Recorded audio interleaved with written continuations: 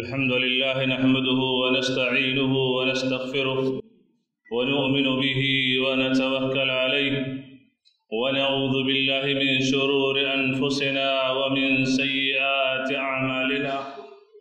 من يهده الله فلا مضل له ومن يضلل فلا هادي له وأشهد أن لا إله إلا الله وحده لا شريك له وأشهد أن محمدا عبده ورسوله. أما بعد فإن خير الحديث كتاب الله وخير الهدي هدي محمد صلى الله عليه وسلم وشر الأمور محدثاتها وكل محدثة بدعة وكل بدعة ضلالة وكل ضلالة في النار.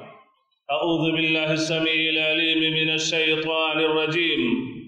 يا أيها الذين آمنوا اتقوا الله حق تقاته ولا تموتن إلا وأنتم مسلمون. يا أيها الناس اتقوا ربكم الذي خلقكم من نفس واحدة وخلق منها زوجها وبث منهما رجالا كثيرا ونساء. واتقوا الله الذي تساءلون به والأرحم إن الله كان عليكم رقيبا. يا أيها الذين آمنوا اتقوا الله وقولوا وقولوا قولا سديدا. يصلح لكم أعمالكم ويغفر لكم ذنوبكم. ومن يطع الله ورسوله فقد فاز فوزا عظيما. وقال عز من قائل إن الله يأمركم أن تودوا الأمانات إلى أهلها وإذا حكمتم بين الناس فاحكموا بالعدل إن الله نعم ما يعظكم به إن الله كان سميعا بصيرا حاضرین جمعہ، بزرگوں، نوجوانوں دینی ملی بھائیوں، پیارے بچوں، پردہ نشین ماؤں بہنوں، اللہ تبارک تعالیٰ نے ہم تمام بنی نو انسان کو اس روئی زمین پر پیدا فرمایا اور پیدا فرمانے کے بعد اللہ تبارک تعالیٰ نے یوں ہی ہمیں بے مقصد نہیں چھوڑا یا آزاد نہیں چھوڑا کہ جس طریقے سے چاہیں آپ زندگی گزار لیں، بلکہ اس کائنات کے نظام کو بہتر رکھنے کے لیے اس کائنات کا جو نظام ہے، اس نظام کے اندر افراتفری نہ ہو، اللہ تبارک تعالیٰ نے ہمیں اس بات کا بھی حکم دیا کہ اس دنیا کے اندر رہتے ہوئے عدل و انصاف کو قائم کرو۔ اس لیے کہ عدل و انصاف یہ ایسی چیز ہے کہ جب معاشرے میں، سماج میں، محلے میں گاؤں میں، ملک میں، عالمی سطح پر جب عدل اور انصاف کا قیام ہوگا تو ظاہر سی بات ہے، امن و امان ہوگا، آپس میں الفت و محبت پیدا ہوگی اور اس طریقے سے معاشرے سے بہت سی بے معاشرے میں، سماج میں جو بے چینیاں پائی جاتی ہیں بغض و حسد کا جو ماحول ہوتا ہے کینہ کپٹ کا جو ماحول ہوتا ہے، یہ برائیاں ختم ہو جائیں گی اگر عدل و انصاف کا قیام ہوگا۔ اور اسی لیے اللہ تبارک تعالیٰ نے قرآن کریم کی ایک نہیں، بے شمار صورتوں میں اور بے شمار آیات میں اللہ تبارک تعالیٰ نے مختلف انداز میں، مختلف اسلوب میں اللہ تبارک تعالیٰ نے عدل کا حکم دیا ہے۔ سورہ نساء کی آیت نمبر اٹھاون، جس کی ابھی تلاوت کی گئی، اللہ تبارک تعالیٰ نے ارشاد فرمایا، ان اللہ یامرکم ان تودوا الامانات الى اہلها واذا حکمتم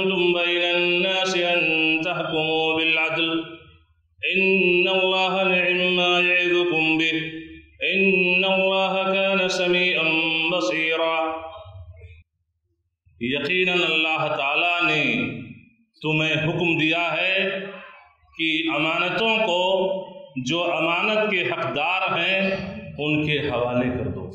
انہیں سونپ دو۔ اور جب تم فیصلہ کرو، تو فیصلہ یہ عدل کے ساتھ کرو، انصاف کے ساتھ کرو۔ فیصلہ کرنے میں عدل و انصاف برتو۔ یقیناً اللہ تبارک تعالیٰ نے تمہیں جس چیز کی نصیحت کی ہے، جس چیز کی اللہ تعالیٰ نصیحت کرتا ہے، وہ بہت ہی بہتر چیز ہے۔ اللہ تعالیٰ سنتا ہے، اللہ تعالیٰ دیکھتا ہے۔ دوسری جگہ اللہ تبارک تعالیٰ نے سورہ نحل کی آیت نمبر نبے، جس کے اندر اللہ تبارک تعالیٰ نے فرمایا، ان اللہ یا بالعدل والاحسان اللہ تعالیٰ نے تمہیں عدل کا حکم دیا ہے۔ اللہ تعالیٰ تمہیں حکم دیتا ہے کہ عدل و انصاف بجا لاؤ، عدل و انصاف کا ماحول پیدا کرو اور احسان، بھلائی کا ماحول پیدا کرو۔ اپنے معاشرے میں، اپنے سماج میں عدل و انصاف اور بھلائی کو عام کرو۔ سورہ حجرات کی آیت نمبر نو۔ جس کے اندر اللہ تبارک تعالیٰ نے ساتھ فرمایا إِنَّ اللَّهَ يُحِبُّ الْمُقْسِطِينَ۔ عدل و انصاف کرو، اس لیے کہ اللہ تعالیٰ عدل و انصاف کرنے والوں سے محبت تو یہ چند آیتیں ہیں، اس طریقے سے بے شمار آیات ہیں، جس کے اندر اللہ تبارک تعالیٰ نے عدل و انصاف کا حکم دیا ہے۔ اور جہاں پر اللہ تبارک تعالیٰ کسی چیز کے کرنے کا حکم دیتا ہے، یہ عربی کا قاعدہ ہے کہ وہ چیز وجوب پہ دلالت کرتی ہے، کہ وہ چیز واجب ہے۔ معلوم یہ ہوا کہ عدل و انصاف، برتنا، یہ ہم تمام لوگوں کے اوپر واجب اور ضروری ہے۔ عدل کسے کہتے ہیں؟ عدل کہتے ہیں کہ صاحب حق کو اس کا حق دے دیا جائے۔ صاحب حق کو اس کا حق دے دیا جائے، اسی کو عدل کہتے ہیں، اسی کو انصاف کہتے ہیں۔ اور اللہ تبارک تعالیٰ کے یہاں بھی عدل ہے، ولا يظلم ربك احدا تمہارا رب کسی پر ظلم نہیں کرتا۔ یہ وہ عدل ہے کہ اللہ تبارک تعالیٰ، اللہ کے رسول صلی اللہ علیہ وسلم نے صحیح مسلم کی حدیث جسے امام مسلم رحمہ اللہ نے کتاب البر والصلہ باب و تحریم الظلم۔ اس باب میں اس حدیث کو ذکر کیا ہے، جس کے راوی ابو حرر رضی اللہ تعالیٰ عنہ ہیں۔ اللہ کے رسول صلی اللہ علیہ وسلم نے ارشاد فرمایا، لتودن الحقوق الى اهلها حتى يقاد حتى يقاد للشاة الجلحة من الشاة لوگوں کے جو حقوق ہیں، وہ حقوق تمہیں ضرور با ضرور ادا کرنا پڑے گا۔ دنیا کے اندر کسی پر آپ نے ظلم کر لیا، کسی کے ساتھ زیادتی کر دی، عدل و انصاف کو آپ نے نہیں برتا، دنیا کے اندر لے دے کر کے معاملہ چل گیا۔ لیکن میدان محشر میں جب اللہ رب العزت کے سامنے پیش کیے جاؤ گے تو وہ رب کا دربار ہے۔ وہ زمین و آسمان کے رب کا دربار ہے کہ جہاں عدل و انصاف کا ترازو رکھا جائے گا، وہاں کسی پر ظلم نہیں ہوگا۔ کیا ہوگا؟ عدل و انصاف کا یہ پیمانہ اور یہ معیار کہ اللہ کے رسول صلی اللہ علیہ وسلم نے ارشاد فرمایا کہ سینگ دار بکری جس نے غیر سین دار بکری کو مارا بھی ہوگا، اس سے بھی قصاص اللہ تبارک تعالیٰ قیامت کے دن میدان محشر میں دلائے گا۔ یعنی یہ عدل و انصاف ہوگا اللہ کی بارگاہ میں اور عدل و انصاف کا یہ حال ہوگا۔ تو اگر دنیا کے اندر ہم نے، آپ نے اپنے گھر میں، اپنے بچوں میں، اپنے بیویوں کے درمیان اپنے کسی بھی پڑوسی یا عام لین دین میں ہم نے عدل و انصاف کو اگر نہیں برتا، اس کی رعایت نہیں کی، میرے دوستوں کل میدان محشر میں اللہ کے سامنے سودا بڑا مہنگا پڑے گا۔ اور اسی لیے جو لوگ عدل و انصاف برتنے والے ہیں، عدل و انصاف کو برتنے والے ہیں اور عدل و انصاف کرنے والے ہیں اللہ کے رسول صلی اللہ علیہ وسلم نے ان کے لیے بشارت دی ہے کہ قیامت کے دن ان کے لیے نور کا، روشنی کا ممبر ہوگا اور یہ ممبر اللہ کے داہنے سائڈ میں رکھا جائے گا۔ صحیح مسلم کتاب العمارہ باب فضیلت الامام العادل۔ کتاب العمارہ کے اندر یہ حدیث موجود ہے۔ حدیث کے راوی عبداللہ بن عمر بن العاص رضی اللہ عنہما ہے۔ اللہ کے رسول صلی اللہ علیہ وسلم نے ارشاد فرمایا، ان المقسطین علی منبر من منابر النور یوم القیامہ عن یمین الرحمن وکلتا یدیہ یمین الذین یعدلون فی حکمہم واہلیہم ما ولو۔ او کما قال النبی صلی اللہ علیہ وسلم۔ اللہ کے رسول صلی اللہ علیہ وسلم نے ان لوگوں کے لیے جو عدل و انصاف برتنے والے ہیں، ان کے لیے اللہ کے رسول صلی اللہ علیہ وسلم نے انہیں یہ اعزاز، یہ تمغہ دیا ہے کہ انصاف کرنے والے، عدل و انصاف کو اپنی زندگی میں برتنے والے یہ ایسے لوگ ہیں کہ قیامت کے دن ان کے لیے اللہ کے داہنے سائڈ میں ان کے لیے نور کا روشنی کا ممبر ہوگا۔ یہ ممبر جس پہ کھڑے ہو کے خطبہ دے رہے ہیں، اللہ کے داہنے سائڈ میں ممبر ہوگا اور ممبر نور کا ہوگا، روشنی کا ہوگا۔ اور اللہ کے دونوں ہاتھ یہ داہنے ہیں۔ کن لوگوں کے لیے؟ الذین یعدلون فی حکمہم و اہلیہم مولو کہ جو جب فیصلہ کرتے ہیں، تو فیصلہ کرنے میں منہ دیکھی فیصلہ نہیں کرتے ہیں، عدل و انصاف کو برتتے ہیں اور یہ عدل و انصاف عام لوگوں میں بھی ہوتا ہے اور اپنے بیوی بچوں میں بھی عدل و انصاف کو برتتے ہیں۔ یعنی جو چیز ان کے حوالے کی گئی ہے، اس میں وہ عدل و انصاف کو برتتے ہیں۔ تو ان کے لیے قیامت کے دن یہ نور کا روشنی کا ممبر ہوگا۔ ہمارا اور آپ کا معاشرہ کیا ہے؟ یہ سماج کیا ہے؟ ہمارے سماج میں منہ دیکھی فیصلہ ہو جاتا ہے۔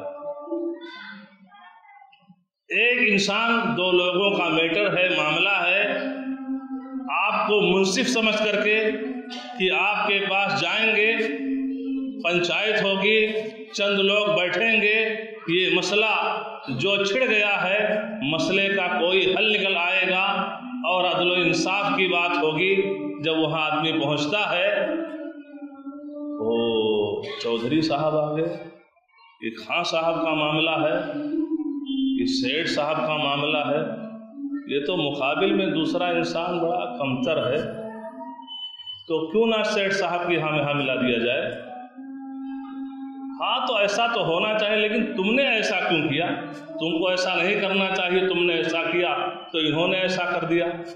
گول مول کی بات ہے اب آپ لوگ سمجھ لیجیے اب ہم لوگ کیا بولیں۔ آپس کا میٹر ہے، محلے ہی میں رہتے بستے ہیں۔ تو آپس میں سمجھ لیں آپ لوگ اب کیا کہا جائے۔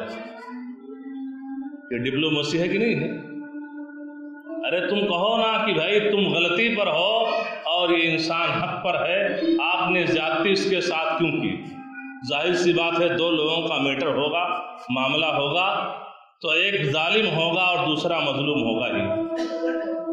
ایک ظالم ہوگا، دوسرا مظلوم ہوگا، دونوں معاملہ لے کر کے آپ کے سامنے آئے ہیں۔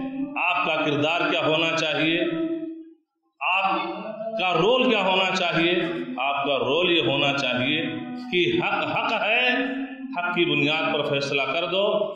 چاہے سامنے والا ناراض ہو، چاہے خوش ہو، اس کی پرواہ نہ کرو۔ اس لیے کہ تم پرواہ کرو زمین و آسمان کے رب کی، کہ وہ رب تمہیں عدل و انصاف کرنے کا حکم دیتا ہے، اس رب کے حکم کو بجا لاؤ، اس رب کے حکم کو بجا لاؤ گے، تو یہ انسان آج آپ سے ناخوش ہو رہا ہے، لیکن کل یہ بھی خوش ہو جائے گا، اپنی غلطی کا اعتراف کر لے گا کہ میں غلطی پر تھا، ہمارے خلاف فیصلہ صحیح ہوا۔ لوگ بھی خوش ہو جائیں گے اور زمین و آسمان کا رب بھی خوش ہوگا۔ لیکن ہمارے ماحول میں عدل و انصاف نہیں برتا جاتا ہے۔ میں نے مثال دی۔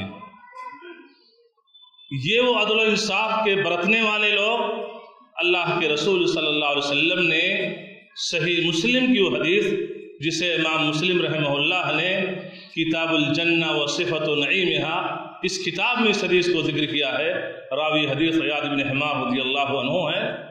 فرماتے ہیں اللہ کے رسول صلی اللہ علیہ وسلم نے ارشاد فرمایا، اہل الجنت ثلاثہ ذو سلطان مقسط موفق.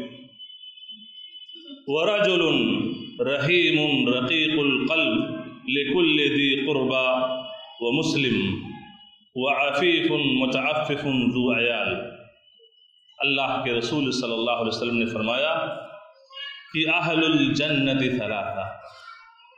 تین لوگ یہ جنت والے ہیں، جنتی ہیں. تین لوگ یہ جنت والے ہیں، جنتی ہیں۔ اس میں سے ایک وہ سلطان ہے، ایک وہ حاکم بھی ہے، جس کے ہاتھ میں پاور ہے، طاقت ہے، ذمہ دار ہے۔ جب اس کے پاس کوئی معاملہ آتا ہے، تو وہ فیصلہ عدل و انصاف کی بنیاد پر کرتا ہے۔ عدل و انصاف کرنے والا حاکم اور سلطان بھی ہے۔ دوسرا وہ انسان جس کا دل نرم ہے، بہت ہی نرم دل ہے اور یہ نرم دلی رشتہ داروں کے لیے بھی ہے اور عام مسلمانوں کے لیے اس کا دل نرم ہوتا ہے۔ اور تیسرا وہ انسان ہے جو جس کی حالت بڑی خستہ ہے، خستہ ہونے کے باوجود، فقر و فاقہ ہونے کے باوجود بھی وہ انسان اپنے ہاتھ کو دوسروں کے سامنے نہیں پھیلاتا ہے، جبکہ معاملہ یہ ہے کہ کھانے پینے والے اہل ویال زیادہ ہیں اس کے پاس۔ یہ نہیں کہ ہم دو ہمارے دو۔ ایک ضروریت اس کے پاس ہے، جو عیال، بال بچے والا ہے، بیوی بچوں والا ہے۔ لیکن پھر بھی غیرت یہ ہے کہ بے غیرتی کا ثبوت نہیں دیتا ہے اور یہ ہے کہ دوسروں کے سامنے ہاتھ پھیلاتے ہوئے نہیں چلتا ہے، اس پر گزر بسر کر لیتا ہے۔ تو عدل و انصاف برتنے والوں کو اللہ کے رسول صلی اللہ علیہ وسلم نے فرمایا کہ یہ جنتی اللہ تعالی ہمیں انہی لوگوں میں سے بنا جو اپنی زندگی میں، روزمرہ کی زندگی میں عدل و انصاف کو برتنے والے ہوں اور عدل و انصاف کی بنیاد پر فیصلہ کرنے والے ہوں۔ اللہ تعالی ہمیں اس کی توفیق عطا فرما۔ أقول قولی هذا القول وأستغفر الله لي ولكم ولسائر المسلمين فاستغفروه إنه هو الغفور الرحيم. الحمد لله نحمده ونستعينه ونستغفره ونؤمن به ونتوكل عليه ونعوذ بالله من شرور أنفسنا ومن سيئات أعمالنا. من يهده الله فلا مضل له ومن يضلل فلا هادي له. وأشهد أن لا اله الا الله وحده لا شريك له واشهد ان محمدا عبده ورسوله اما بعد. محترم سامعین، ہمارے لیے دنیا کے ہر فیلڈ میں، ہر مجال میں، ہر چیز میں ہمارے لیے آئیڈیل، سیمپل اور نمونہ سید الانبیاء والمرسلین، آمنہ کے لال محمد عربی صلی اللہ علیہ وسلم۔ سورہ احزاب کی آیت نمبر اکیس۔ اللہ تبارک تعالیٰ نے ارشاد فرمایا، لقد کان لکم فی رسول اللہ اسوۃ تمہارے لیے نبی کریم صلی اللہ علیہ وسلم، رسول اکرم صلی اللہ علیہ وسلم، یہ بہترین سمپل نمونہ اور آئیڈیل۔ آئیے نبی کریم صلی اللہ علیہ وسلم عدل و انصاف کے سراپا پیکر تھے۔ آئیے ایک واقعہ، واقعات تو بہت سارے اللہ کے رسول صلی اللہ علیہ وسلم کی سیرت میں عدل و انصاف کے بھرے پڑے ہیں، لیکن نمونے کے طور پر ان واقعات میں سے ایک واقعہ صحیح بخاری اور صحیح مسلم کے حوالے سے آپ کے گوشے گزار کرتا چلوں۔ جس سے ہمیں اور آپ کو یہ سبق ملے گا کہ ہمیں بھی نبی برحق محمد مصطفیٰ صلی اللہ علیہ وسلم، نبی عربی محمد صلی اللہ علیہ وسلم کی سیرت پر عمل کرتے ہوئے ہمیں بھی اپنے درمیان عدل و انصاف کو برتنا چاہیے۔ عدل و انصاف کو جو جو تقاضے ہیں، ان تقاضوں کو اپنے ماحول میں، اپنے گھر میں، اپنے بیوی بچوں میں، اپنی سوسائٹی اور سماج میں برتنا چاہیے۔ اما عائشہ رضی اللہ تعالیٰ عنہ اس حدیث کو بیان کرتی ہیں کہتی ہیں کہ قریش جو تھے، ان کے یہاں قبیل مخزوم کی ایک خاتون تھی۔ قبیل مخزوم کی ایک خاتون چوری کر لیتی ہے اور چوری کی سزا شریعت اسلامیہ میں، جہاں اسلامی ملک ہو، شریعت کا نفاذ ہو، اور یہ ہے کہ چوری کتنے مقدار کی کی ہو، نصاب کو پہنچ رہا ہے یعنی اس کے ایک فقہ کی کتابوں میں اس کے کچھ شروط ہیں کہ اگر وہ تمام چیزیں پائی جائیں، تو ان چیزوں کے پائے جانے کی صورت میں چور چور چور کا یا چورنی کا ہاتھ کاٹ دیا جائے۔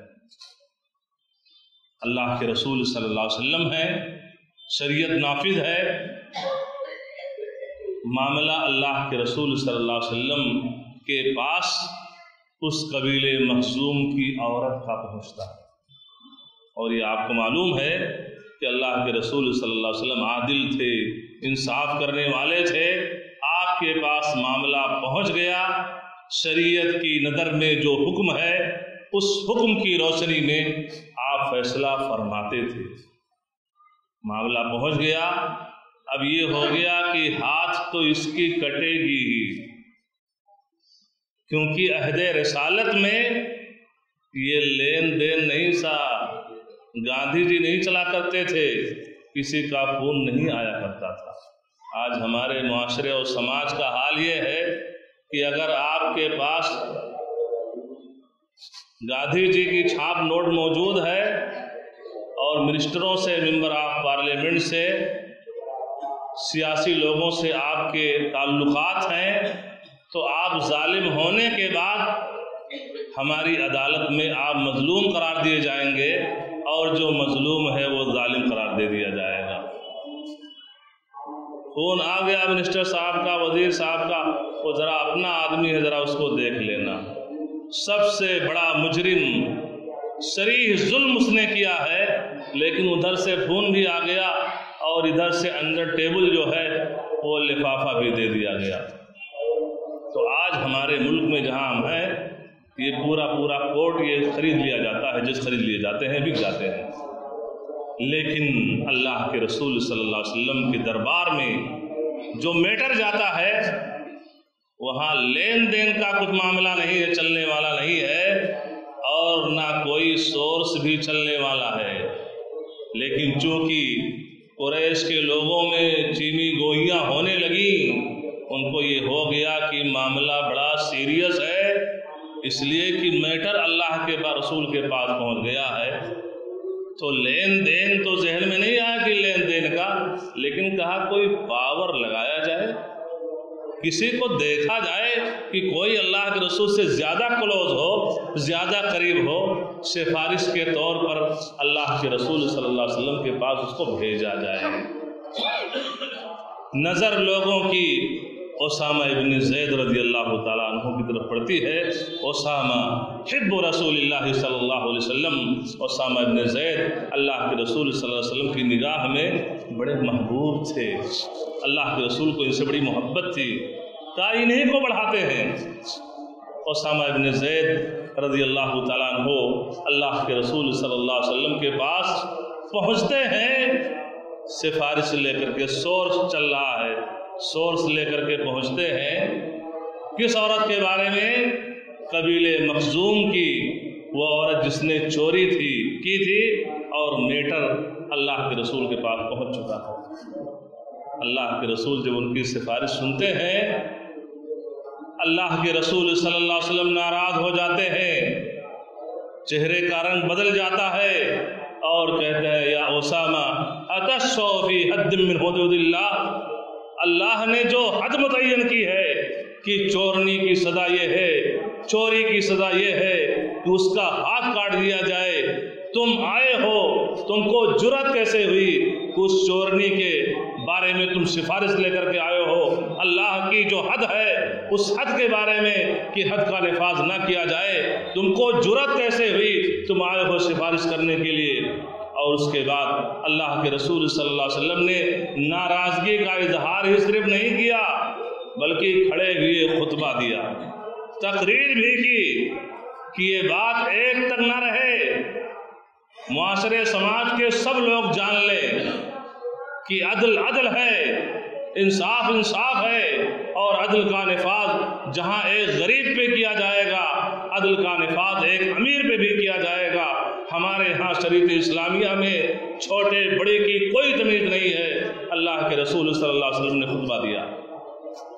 اور کہا، انما ضل من كان قبلكم اذا سرق فيهم الشريف تركوه واذا سرق فيهم الضعيف اقاموا عليه الحد. عیم اللہ لو ان فاطمة بنت محمد سرقت لقطعت یدہا کہتے ہیں کہ دیکھو، تم سے پہلے جو لوگ تھے، وہ کیوں گمراہ ہوئے؟ بربادی کا شکار کیوں ہوئے؟ گمراہی کا شکار کیوں ہوئے؟ اس لیے کہ ان کے یہاں ایک بری خصلت تھی کہ جب کوئی شریف انسان، جب کوئی بڑے خاندان کا انسان، بڑا آدمی، معزز انسان جو معاشرے میں معزز سمجھا جاتا ہو، مکرم سمجھا جاتا ہو، جس کو رسپیکٹ دیا جاتا ہو، جب وہ چوری کرتا تھا، جب وہ جرم کرتا تھا ترکو تو اسے ان لوگوں نے چھوڑ دیا۔ اس لیے کہ یہ فلاں صاحب ہیں۔ اب ان کے خلاف کون سا حکم جاری کیا جائے؟ ان کے اوپر کیسے حد جاری کی جائے؟ ان کو کیسے سزا دی جائے؟ دائیں بائیں کا راستہ لے کر کے ان کو چھوڑ دیا جاتا تھا۔ لیکن اگر کوئی پتلی گردن والا مل گیا، کمزور انسان مل گیا، تو اس کے اوپر حد جاری کر دیتے تھے۔ شریعت میں جو حد ہے، جو سزا ہے، اس کا نفاذ کر دیتے تھے۔ پھر اللہ کے رسول صلی اللہ علیہ وسلم نے قسم کھا کر کے کہا وَأَيْمُ اللَّهِ لَوْ أَنَّ فَاطِمَةَ بِنْتَ مُحَمَّدٍ سَرِقَتْ لَقَتَعْتُ يَدَهَا۔ وفي روایت نخرا لَقَتَعَ مُحَمَّدٌ يَدَهَا۔ کہا کہ اللہ کی قسم، اس رب کی قسم، جس رب کے قبضے قدرت میں میری جان ہے اگر فاطمہ بنت محمد محمد صلی اللہ علیہ وسلم کی بیٹی، میری بیٹی فاطمہ بھی چوری کی ہوتی اور معاملہ میرے پاس آیا ہوتا لقطع تو یدہا تو میں اپنی بیٹی فاطمہ کا بھی ہاتھ میں کاٹ دیتا، اس لیے کہ یہ عدل ہے، یہ عدل ہے، یہ انصاف ہے۔ عدل کا دستور ہے کہ ہاتھ کاٹا جائے گا۔ فاطمہ بنت محمد بھی اگر چوری کرے، فاطمہ بنت محمد بھی اگر چوری کرے، عدل کا دستور ہے کہ ہاتھ کاٹا جائے۔ سنا آپ نے یہ واقعہ؟ اسی طریقے سے عدل، صحیح مسلم کی حدیث کہ عدل و انصاف کو آج ایک انسان غیروں کو تو چھوڑے، اپنے بیوی بچوں میں عدل و انصاف نہیں کرتا۔ یہ فطری چیز ہے کہ ایک باپ ہے، ایک ماں ہے، کسی بیٹے سے زیادہ محبت ہوگی، کسی بیٹی سے زیادہ محبت ہوگی، دل کا میلان اس کی طرف زیادہ ہوگا، نو پرابلم، کوئی مشکل نہیں ہے۔ لیکن جہاں پراپرٹی کے لین دین کا ہو، وہ برابری ہونی چاہیے۔ سنیے عدل و انصاف کی مثال، کہ عہد رسالت میں ایک صحابی جن کا نام بشیر رضی اللہ تعالیٰ عنہ اس حدیث کے روایت کرنے اس حدیث کو امام مسلم نے صحیح مسلم اور امام بخاری نے صحیح بخاری کے اندر بھی ذکر کیا ہے۔ اس حدیث کے روایت کرنے والے نعمان ابن بشیر رضی اللہ تعالیٰ عنہ ہیں۔ نعمان یہ بشیر رضی اللہ تعالیٰ عنہ کے بیٹے تھے۔ کہتے ہیں کہ میرے والد محترم اللہ کے رسول صلی اللہ علیہ وسلم کے پاس تشریف لے جاتے ہیں اور کہتے ہیں، انی نحلت ابنی ہذا غلاما. کہ میں نے اپنے اس بچے کو ایک غلام گفٹ میں دیا ہے، ہدیے میں دیا ہے۔ بات دوسری روایتیں جس میں ان کی جو والد محترمہ تھی، انہوں نے کہا کہ بچے کو لے جاؤ اور اللہ کے رسول صلی اللہ علیہ وسلم کو اس پر گواہ بنا لینا۔ معاملہ آگے پیچھے کا نہ ہو، اللہ کے رسول کو گواہ بنا لو۔ پہنچ گئے صحابی بشیر رضی اللہ تعالیٰ عنہ۔ کان کھول کے اور غور سے سنیے گا۔ صرف یہاں سر مت ہلائیے گا۔ اگر غلطی اور کوتاہی آپ لوگوں سے بچوں کے درمیان عدل و انصاف کے بارے میں ہو رہی ہوگی، تو جا کے اس کو برابر، سرابر کر لینا۔ آئندہ جرت مت کرنا۔ ورنہ قبر ہی سے عذاب قبر میں مبتلا ہو جاؤ گے۔ قبر میں دفنانے کے بعد وہ بچہ جس کو آپ نے ایک کروڑ کا پلیٹ دیا ہوگا، دوسرا بچہ جس کو پچاس لاکھ کا پلیٹ دیا ہوگا، وہ ایک کروڑ جائیداد کا مالک وہ بچہ آپ کی قبر میں آپ کے پاس سونے کے لیے نہیں آئے گا۔ عذاب قبر سے آپ کو بچائے گا نہیں۔ اللہ کے رسول صلی اللہ علیہ وسلم نے پوچھا، جناب، آئے تو ہو، کہہ یہ رہے ہو اس بچے کو میں نے غلام گفٹ میں دیا ہے، ذرا یہ تو بتاتے چلو، اکل ولدی کا نحل تمثلہ تمہارے اور بھی بچے ہیں، سب بچوں کو تم نے ایک ایک غلام گفٹ میں دیا ہے۔ کہتے ہیں کہ نہیں، سب بچوں کو نہیں دیا ہے۔ اللہ کے رسول صلی اللہ علیہ وسلم نے فرمایا، جاؤ، یہ جو غلام دینے کا ارادہ کر رہے اس کو لوٹا لو۔ ارادہ چھوڑ دو، لوٹا لو، یہ جو نیت کر رہے ہو، ارادہ کر رہے ہو، اس سے بعد آ جاؤ۔ نعمان رضی اللہ تعالیٰ عنہ فرماتے ہیں فرج آبی دل کا صدقہ میرے والد محترم نے جو ایک رائے قائم کی تھی کہ مجھے یہ نوکر گفٹ میں دے دیں گے، اپنے اس رائے سے پیچھے ہٹ جاتے ہیں اور مجھے وہ غلام گفٹ میں نہیں دیتے ہیں۔ یہ صحابہ کرام تھے دن کا دل بیدار تھا، ایمان کی بیداری تھی کہ فوراً سنا حدیث، فوراً پیچھے ہٹ گئے۔ ان ممبروں محراب سے یہ علماء کرام، ائمہ خطب عیدین میں خطب جمعہ میں، عام اجتماعات میں، کانفرنسوں میں چیخ چیخ کر کے گلا پھاڑ لیتے ہیں، لیکن ایسے مجرم بیٹھے رہتے ہیں جو سر ہلاتے رہتے لیکن جب مسجد سے نکلے تو وہی رفتار بے ڈھنگی جو پہلی تھی وہ تھی۔ نہیں میرے دوستوں غلط ہے۔ ممبروں سے یہ چیزیں کیوں پیش کی جاتی ہیں؟ تاکہ اپنی غلطیوں کی آپ اصلاح کریں۔ اپنی غلطیوں کی آپ اصلاح کریں۔ دوسری رواج جس میں یہ ہے اشحد غیری فعنی لا اشحد علی جور کہتے ہیں کہ آؤ اشحد غیری۔ مجھے گواہ بنانا چاہتے ہو میں ظلم اور زیادتی پر گواہ نہیں بن سکتا ہوں۔ اس لیے کہ یہ ظلم ہے، یہ زیادتی ہے یہ عدل نہیں ہے، یہ انصاف نہیں ہے، میں اس پر گواہ نہیں بن سکتا ہوں۔ تو عدل و انصاف آپ کو اپنے بچوں کے درمیان بھی کرنا ہے۔ اگر ایک سے زیادہ شادی آپ کیے ہوئے ہیں، اپنی بیویوں کے درمیان بھی کرنا ہے۔ عدل و انصاف ضروری ہے۔ ورنہ یہ حقوق العباد ہیں۔ کل یہ صف اول میں نماز اور یہ ہے کہ سال میں حج اور عمرہ، زکوٰۃ، رمضان کے روزے، نفلی روزے، ایام بید یوم عرفہ کا روزہ، یوم عاشورہ کا روزہ، شوال کے چھ روزے، پیر اور جمعرات کے نفلی روزے، یہ سب کرتے چلے جاؤ گے۔ لیکن اگر عدل و انصاف کا دامن آپ نے چھوڑ دیا، تو یقین جانیے میرے دوستو عدل و انصاف چھوڑنے کی بنیاد پر، ظلم اور ذاتی کی بنیاد پر وہ سب میدان میں سر میں آئیں گے، نیکیوں کی جھولی آپ کی خالی ہو جائے گی۔ ایک اور واقعہ، عبرت کے لیے کہ دل و انصاف کو لازم پکڑیے اور ظلم سے بچیے۔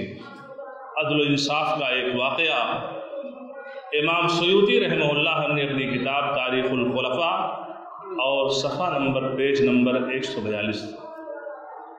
جس کے اندر ایک واقعہ امیر المومنین علی ابن ابی طالب رضی اللہ تعالیٰ عنہ کا نقل فرماتے ہیں کہ علی ابن ابی طالب رضی اللہ تعالیٰ عنہ کے پاس ایک درے تھی۔ درے کہتے ہیں لوہے کی وہ جاکٹ جسے اس وقت جنگ میں پہنا کرتے تھے جاکہ جب دشمنوں کی تیر آئے تو تیر جسم میں نہ چلے۔ وہ درے تھی اور اچانک کسی یہودی کے ہاتھ لگ گئی۔ ایک دن علی ابن ابی طالب رضی علی علی رضی اللہ تعالیٰ عنہ کی ملاقات اس یہودی سے بازار میں ہو جاتی ہے۔ دیکھتے ہیں کہ یہ جو در پہنے ہوئے ہے، یہ تو ہماری ہے۔ کہتے ادر او درعی ارے، یہ جاکٹ جو تم پہنے ہوئی ہو جناب، یہ تو میری ہے۔ اور معاملہ یہ ہے کہ تمہارے پاس یہ در یہ جاکٹ کیسے پہنچی جبکہ میں نے اس کو بیچا نہیں ہے، میں نے کسی کو گفٹ میں بھی نہیں دیا ہے، تمہارے پاس کیسا پہنچا؟ یہودی کہتا ہے کہ یہ جاکٹ میری ہے۔ چلیے، قاضی کے پاس چلتے ہیں میٹر لے کر کے۔ شرح قاضی، جو اس وقت قاضی تھے ان کے پاس، دونوں لوگ پہنچتے ہیں۔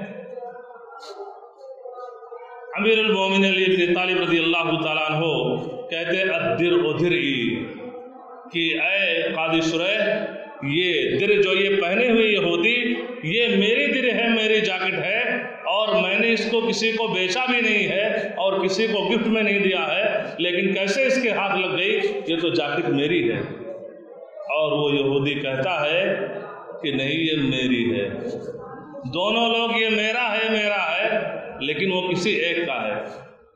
شرح قادی امیر المومنین علی ابن طالب رضی اللہ تعالیٰ عنہ سے کہتے ہیں، حل کا بینہ تمہارے پاس کوئی گواہ ہے، کوئی ثبوت ہے کہ یہ جاکٹ تمہاری ہے، کوئی گواہی دے سکتا ہے؟ کہتے ہیں، میرا بیٹا حسن گواہی دے سکتا ہے۔ قاضی شرح کہتے ہیں کہ بیٹے کی گواہی باپ کے حق میں غیر معتبر ہے۔ بیٹے کی گواہی باپ کے حق میں نہیں مانی جائے گی۔ فیصلہ کس کے حق میں ہوتا ہے؟ یہودی کے حق میں۔ یہودی جب یہ فیصلہ سنتا ہے تو عدل اور انصاف کی بنیاد پر کہ دیکھیے عدل اور انصاف کہ بھائی مدعی ہے، دعویٰ کر رہا ہے کہ میرا ہے، لیکن دعویٰ کرنا کافی نہیں، اس کے لیے گواہ چاہیے۔ گواہ نہ ہونے کی صورت میں شرح قاضی جو مسلمان ہیں، چاہتے تو مقابل میں امیر المومنین خلیف وقت ہیں، چاہتے تو منہ دیکھ کر کے ان کے حق میں فیصلہ کر دیتے، لیکن منہ دیکھی فیصلہ شرح قاضی نے نہیں کیا۔ گواہ نہ موجود ہونے کی صورت میں انہوں نے فیصلہ یہودی کے حق میں دے دیا۔ یہودی اس بات کو دیکھ کر کے یہ معاملہ دیکھ کر کے اعلان اسلام ہو۔ وہ یہودی اسلام میں داخل ہونے کا اعلان کرتا ہے اور کلم توحید پڑھ لیتا ہے۔ اشد اللہ الہ الا اللہ و ان محمد رسول اللہ۔